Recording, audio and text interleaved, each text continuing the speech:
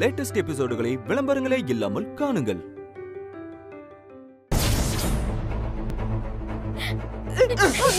ஒழுங்க மரியாதை உன் துணிமணியில எடுத்து வெளியே போய் சொல்லிட்டேன். எங்க எனக்கு சொல்றீங்க? எங்க அம்மாங்க? தெருவுல போய் ப்ளீஸ் நீங்க வந்து பார்க்கும்போது உங்க அம்மா இருக்க கூடாது எங்க. என்ன விட்டுருங்க. நான் போயிடுறேன்.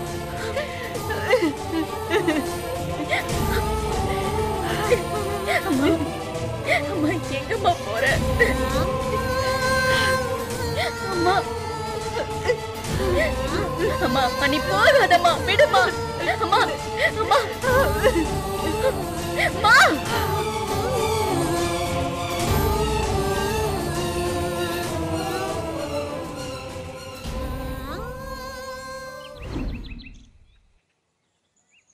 எப்படி சீதா? இந்த அம்மாவுக்கு ஹாஸ்பிட்டல் விஷயம் தெரிஞ்சது? ஒருவேளை டாக்டர் எதுவும் சொல்லியிருப்பாரோ? அவர் சொல்றதுக்கு வாய்ப்பே இல்லை. அவர் எதுக்கு இந்த அம்மாவை தேடி வந்து சொல்லிட்டு போகணும்? ம், வேற எப்படி தெரிஞ்சதுன்னே தெரியலையே. நம்ம ரெண்டு பேரையும் தவிர நீலகண்ட அண்ணனுக்கு மட்டும்தான் இது தெரியும். நான் அவனுக்கு அப்பவே ஃபோன் பண்ணி கேட்டுட்டேன். நான் எதுக்குடா இதெல்லாம் ஃபோன் பண்ணி சொல்லிட்டு இருக்க போறேன்னு சொன்னான். ஏங்க எனக்கு என்னமோ அவர்தான் சொல்லியிருப்பாரோன்னு தோணுது. ஆனா அவன் என்ன வேற மாதிரி கேள்வி கேட்டு மடக்குறான். என்ன கேள்வி? அந்த அம்மாவுக்கு ராஜா காசு கொடுக்கலங்கிறது மட்டும்தான் தெரிஞ்சிருக்கு. ஒருவேளை அதை நான் சொல்லியிருந்தா நீ காசு கொடுத்ததை சொல்லியிருப்பேன்ல சொல்றான். ஆமாங்க. அதுவும் சரிதான். அந்த அம்மா பாவம் வயசானவங்க. ரொம்ப தர்ம சங்கடமா இருக்குங்க. சீதா இவனை நாம தான் பெத்தோமா? இல்ல ஆஸ்பத்திரியில குழந்தை எதுவும் மாறி போச்சான்னு தெரியல. என்ன அப்படி பாக்குற. இந்த கோவத்திலையும் கிண்டலுக்கு ஒன்றும் குறைச்சல் இல்லை. அம்மா தயவு செஞ்சு அழாதீங்கம்மா. நாம யாரையெல்லாம் நல்லவன்னு நினைக்கிறோமோ அவெல்லாம் அயோக்கிய பயலா இருக்கான் நாம யாரையெல்லாம் கெட்டவன்னு நினைக்கிறோமோ அவெல்லாம் நல்லவனா இருக்கான் இந்த உலகம் ஆரம்பத்துல நல்லவங்களை அப்படித்தாம்மா பார்க்கும் அந்த மார்கண்டேயனே என் வைத்திய செலவுக்கு ஒரு பத்து ரூபாய் உதவி பண்ணாருன்னு சொல்லியிருந்தா கூட அத நான் நம்பி இருப்பேன். ஆனா சம்பந்தமே இல்லாத எனக்கு உதவி பண்ணிருக்கீங்க பாருங்க. அதை விடுங்கம்மா. எப்படியோ உங்களுக்கு உங்க மக மருமகளோட உண்மையான முகம் தெரிஞ்சிருச்சுல்ல? அதுவே எனக்கு போதும்மா. என்கிட்ட இருந்த பணம் காசு லேண்ட் எல்லாத்தையுமே அவனுக்கு தானே நான் கொடுத்தேன். அத்தனையும் கொடுத்து அவன் காலை கீழே ஒரு பிச்சைக்காரி மாதிரி கிடந்தனே. ஆனா அவன் ஒரு நாள் தவறாம என்ன அசிங்கப்படுத்திக்கிட்டே இருப்பான். விடுங்கம்மா. அழாதீங்கம்மா. உங்களுக்கு தான் எவ்வளவு பெரிய மனசு? இவ்ளோ பெரிய உதவியும் பண்ணிட்டு அத ஒரு வருஷமா சொல்லி காட்டாமலே இருந்தீங்க.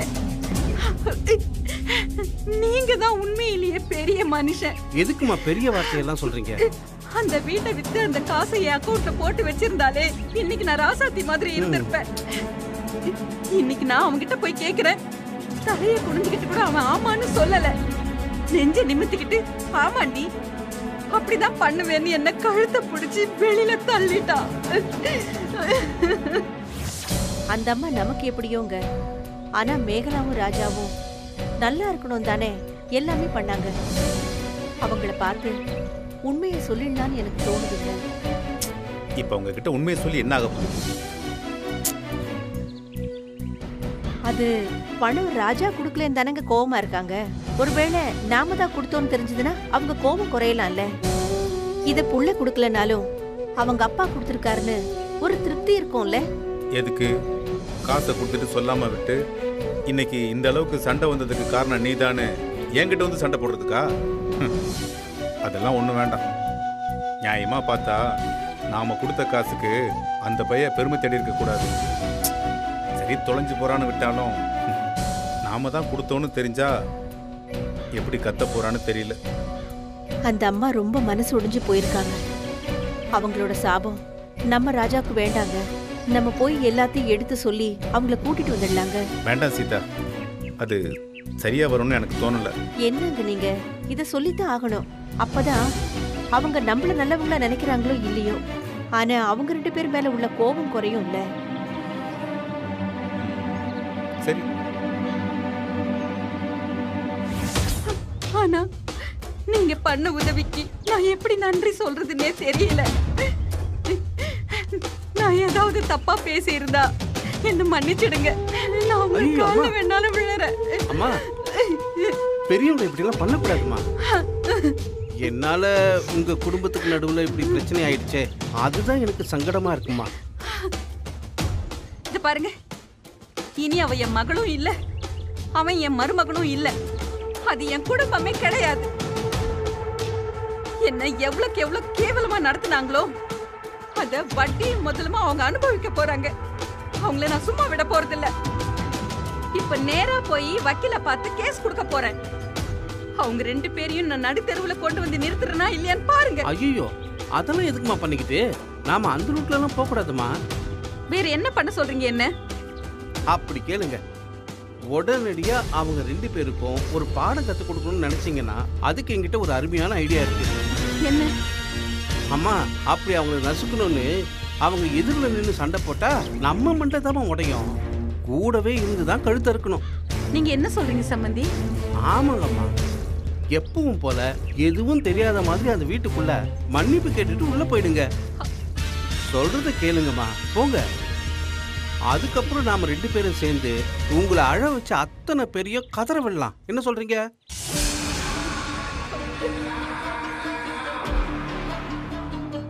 உங்களுக்கு வேணாம்னா விட்டுருங்கம்மா. பரவாயில்ல. இல்லங்க. நீங்க என் உசுரை திருப்பி கொடுத்துருக்கீங்க. இந்த சாவித்ரி யாருன்னு நான் உங்களுக்கு காட்டுறேன். இப்ப நான் வாழ்ற வாழ்க்கை எல்லாமே நீங்க எனக்கு போட்டு பிச்சை. நீங்க என்ன சொன்னாலும் நான் பண்ணுவேன். முதல் வேலையா? எப்பவும் போல கையில காலில் விழுந்து அந்த வீட்டுக்குள்ள போயிடுங்க. அதுக்கப்புறமா நான் சொல்ற மாதிரி செஞ்சுக்கலாம். இதை விடுங்கம்மா. பேசாம நீங்க வீட்டுக்கு போங்க.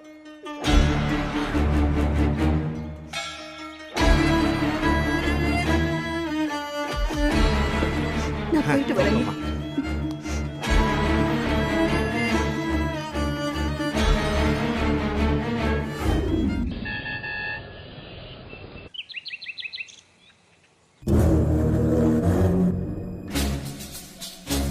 இந்தாங்க.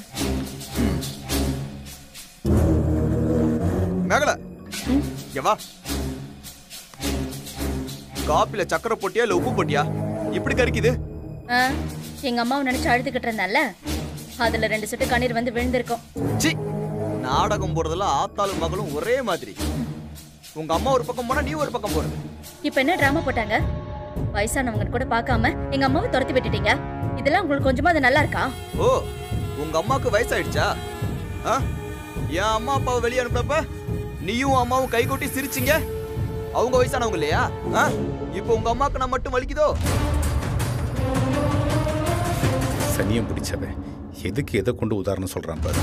டேய் ராஜா பண்றதையும் பண்ணிட்டு அதை நியாயப்படுத்துற மாதிரி பேசாதடா.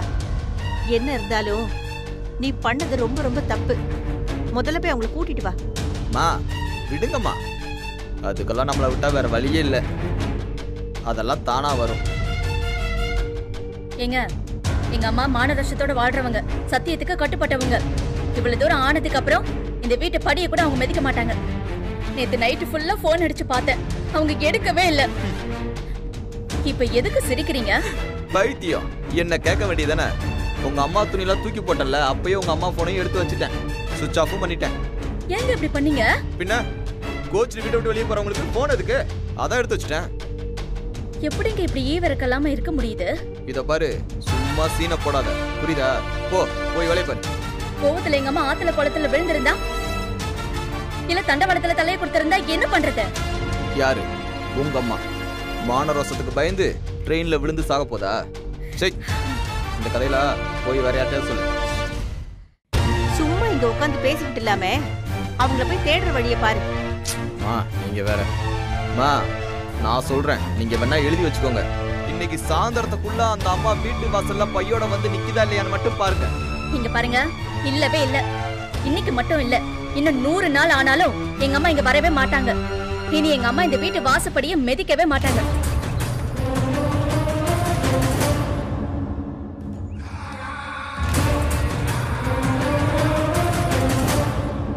இன்னொரு வாட்டி சொல்லு. எங்க அம்மா இனி இந்த வீட்டு வாசப்படிய மிதிக்காது. அப்படியா?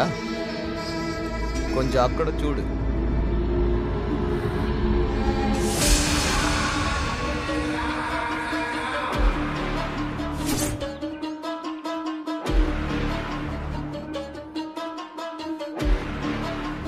இங்க பாரு இருபது கிலோ மானம் இருபது கிலோ ரோசம் இருபது கிலோ சொரணை மொத்தமா உருண்டியா நிக்கல. யாரு? உங்க அம்மா.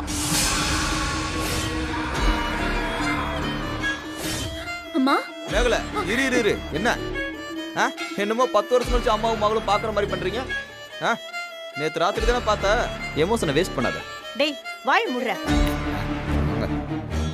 சம்மந்தி நீங்க உள்ள வாங்க.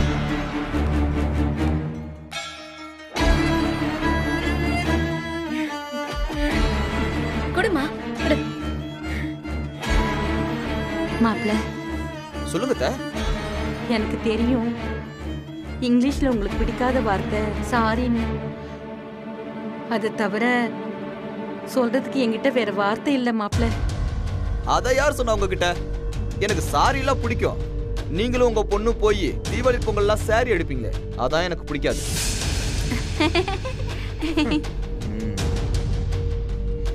ரொம்ப தமாஷா பேசுறீங்க மாப்பிள்ள.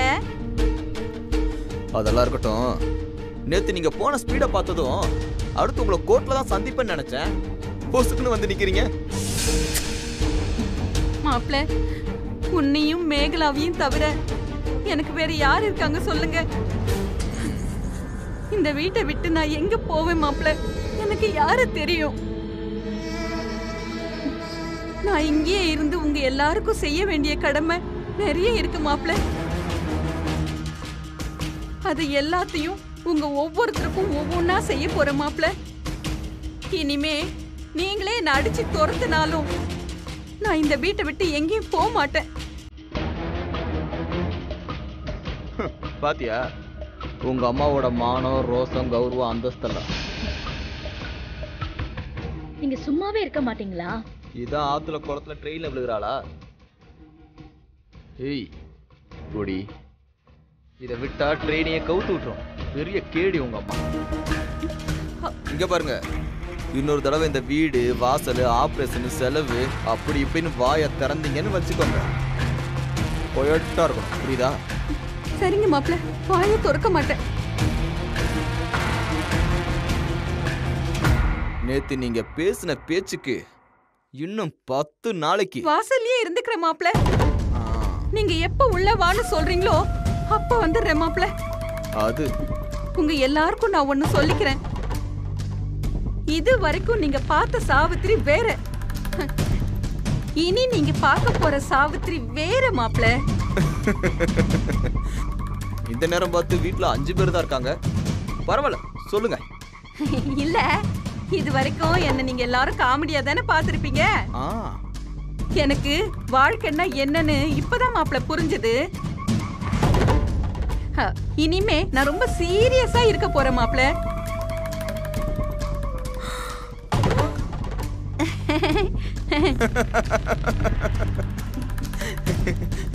நீங்க பண்ண காமெடியிலேயே இதுதான் சிறப்பான தரமான காமெடி. ம் போய் வாசல்ல உட்காந்து பண்ணுங்க. ம்.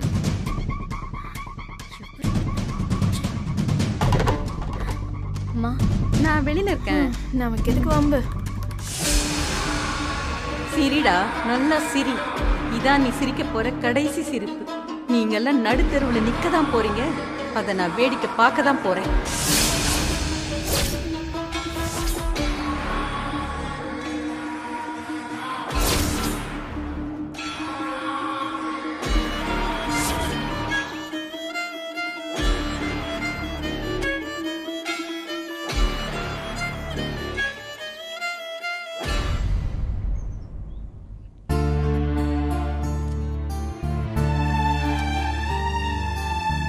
என்னங்க?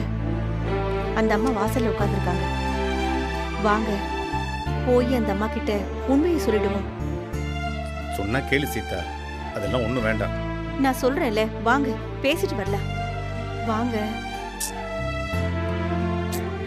வாங்க. ம் வர்றேன்.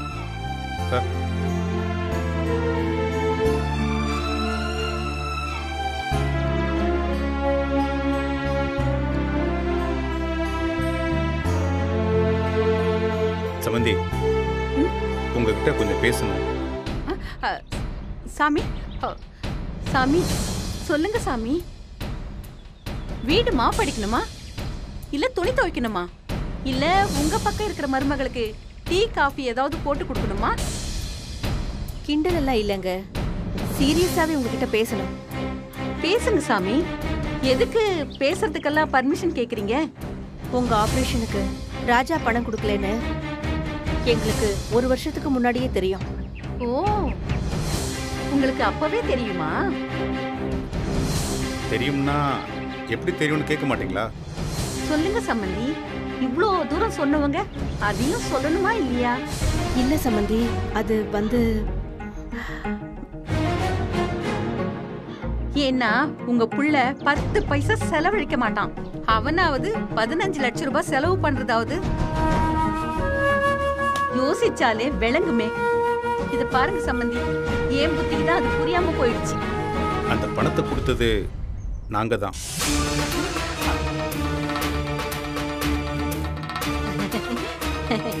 என்ன சாமி இது புது கதையா இருக்குது. உண்மைதாங்க. இவர் ஃப்ரெண்டோட பையன் ஏமாத்தின பணத்தை திருப்பி கொண்டு வந்து கொடுத்தான். அந்த பணத்தை ராஜாவுக்கு கொடுத்து வீட்டை விட்டு அனுப்புறதுக்காக தான் இவர் வச்சிருந்தாரு. அந்த நேரத்துல உங்களுக்கு உடம்புக்கு முடியாம போனதும் பணத்தை கொண்டு போய் ஹாஸ்பிட்டல்ல கட்டிட்டாரு. ஐயா சாமி. இந்த காது ரெண்டும் எனக்கு மூணு வயசு இருக்கும்போதே குத்திட்டாங்க.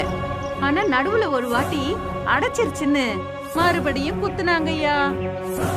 ஆ, உங்க புள்ள வேற பல வாட்டி குத்தி ரணகளமா இருக்கு. இப்போ நீங்களும் குத்துனா இல்லம்மா அது எவனோ கொடுத்த பதினஞ்சு லட்சம் ரூபாய்க்கு உங்க புள்ள மெடலை வாங்கி குத்திக்கிட்டாரு. ம், இப்ப அத புடுங்கி நீங்க குத்திக்கலான்னு பாக்குறீங்களா? பெரிய மனுஷன். ஐயோ உங்களுக்கே இது நல்லா இருக்கா. அப்பா தெய்வீக சிரிப்பையா? ஐயா சாமி? நீங்க எவ்வளோ பெரிய மனுஷன். இந்த மாதிரி ஒரு சின்ன விஷயத்துக்கெல்லாம் பொய் சொல்றது உங்க கேரக்டருக்கெல்லாம் ஒத்து வராது ஐயா. அப்ப நான் வரட்டுங்களா?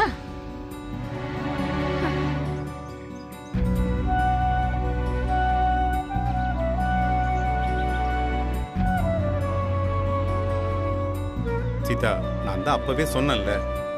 நீ கேட்டியா? யாரோ அவங்க கிட்ட இத சொல்லிருக்கிறாங்க ஆனா விஷயத்தை முழுசா சொல்லல. ம் விடு. நடந்த விஷயம் தெரிஞ்சு போச்சு. அந்த அம்மாவும் திரும்பி வந்தாச்சு. இப்போ நாம தான் கொடுத்தோன்னு தெரிஞ்சு என்ன ஆக போகுது? வா நம்ம வேலையை பார்ப்போம்.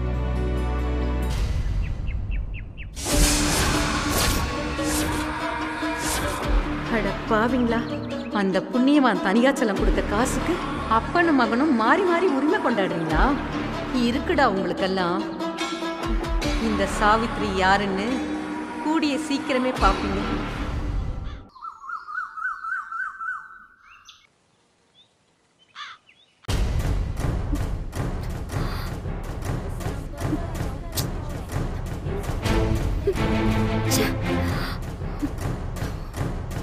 யாரு பிரியா? அப்பாதான் என்ன சொல்றாரு? அன்னைக்கு கோயிலுக்கு வந்துட்டு போனதுக்கு அப்புறம் போனே எடுக்க மாட்டேங்கிறாரு. நடந்த எல்லா தப்புக்கும் நான் தான் காரணம். நீ எதை தப்புன்னு சொல்ற? இல்ல நடந்த எல்லா பிரச்சனைக்கும் நான் காரணமாயிட்டேன். அதான் நான் உன்னை சரி பண்ணிக்கோன்னு சொல்றேன். நான் எதுக்குமே உன்னை கம்பல் பண்ண மாட்டேன் ரவி. இன்னும் முப்பது நாள் டைம் இருக்கு. I leave it to you அதுக்காக இப்படியே உட்கார்ந்துட்டு இருக்காத அடுத்து என்ன பண்ணலான்னு யோசி. கடையை ரெகுலரா ரன் பண்ற மாதிரி பாத்துக்கோ. ஃபர்தரா எப்படி டெவலப் பண்ணலான்னு ஐடியா பண்ணு. நாம நம்ம வேலையை பார்க்கலாம். We got to move on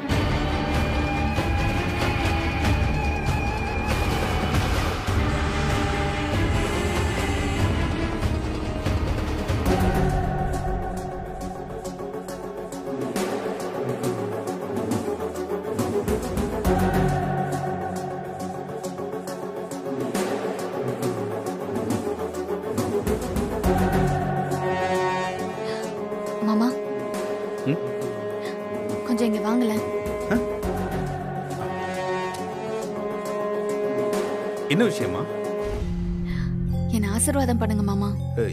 என்னம்மா? என்ன விஷயம்? இன்னைக்கு எங்களோட ஃபிஃப்த் வெட்டிங் ஆனிவர்சரி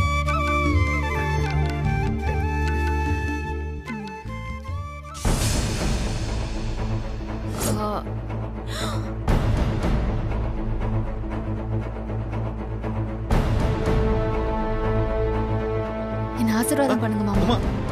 நல்லா இருமா நல்லா இருமா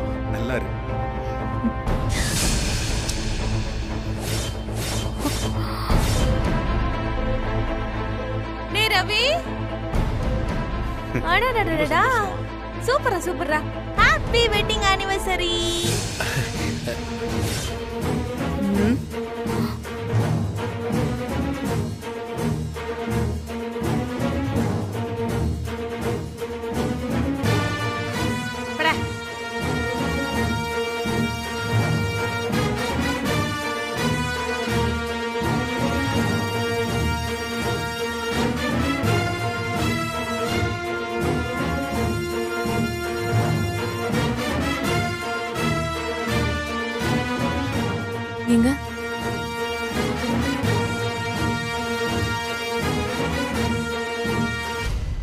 என்னங்க பாக்குறீங்க?